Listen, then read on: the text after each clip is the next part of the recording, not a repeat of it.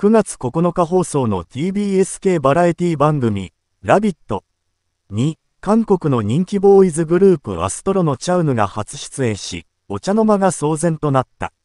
チャウヌは、なんと今回、ラビットに出演するために来日したそうで、出演者からは驚きの声が上がり、MC のキリン、川島明も、ちょっと待って。誰がどう騙したの？何かと間違えてるんじゃないか、と、びっくりしている様子だった。僕もわかりませんと笑いながらも、SNS を見ながら、日本の番組に出たいと思いましたと日本語で答えたチャウヌ。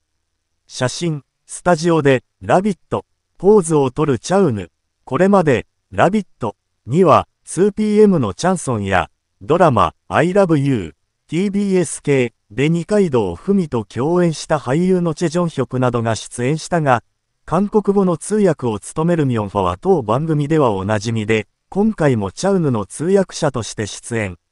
ミョンファは、お笑いコンビワラバランスの森田シンプルイズベストの、特に、イメージダイブ、相手の脳の中に、ダイブ、し、考えていることを当てるというネタを、チェジョンヒョクが体験する際、ここでダイブ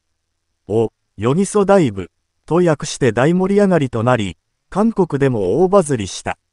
今回、チャウヌも体験するとヨギソダイブが X、旧ツイッターでトレンド入りするほど大きな反響となった。魔法にかかったみたいでしたと、笑顔でコメントしたチャウヌは、他にも次々と番組内のゲームに参加。チゲスープのスープだけを飲んで具材を当てるゲーム味覚王決定戦では、チゲは大好きなので自信がありますと、やる気を見せていたが、残念ながら負けとなり、超酸っぱいラッピージュースを飲む羽目に、辛そうな表情をしながら、美味しいと負け惜しみを言うちゃうのは、とてもキュートだった。ゲームピコパーク2で対戦する、ジャンピングバトル王決定戦では、予選を勝ち抜いて決勝に進出するも、惜しくも優勝を逃したチャウヌ。このゲームでの罰ゲームはなかったのだが、ナス中西、中西公安の太陽の小町ニョッキゲームでは、ミッションに失敗し、今度は、超苦いラッピー茶、お飲まされたチャウヌ。これには、さすがに顔をしかめていた。